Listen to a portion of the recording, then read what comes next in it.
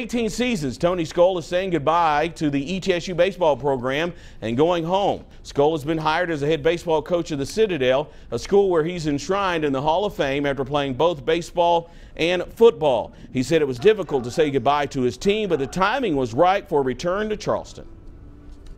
Yesterday was probably one of the most difficult days I've ever had as a coach, having to reach out to my players and let them know that I was leaving. Uh, it was three or four hours of some uh, very emotional, uh, emotional moments, and uh, not an easy day for me. Of course, it's my alma mater, and the relationships with uh, uh, the people that are down there. And uh, whenever you get the opportunity to go back and coach at your alma mater, it's something special. So I wouldn't say it, you're looking at anything as far as comparison as which one's better than the other. It's just it's a, it's a unique opportunity for me to get to go back. And the University of Tennessee made it official today when they entered.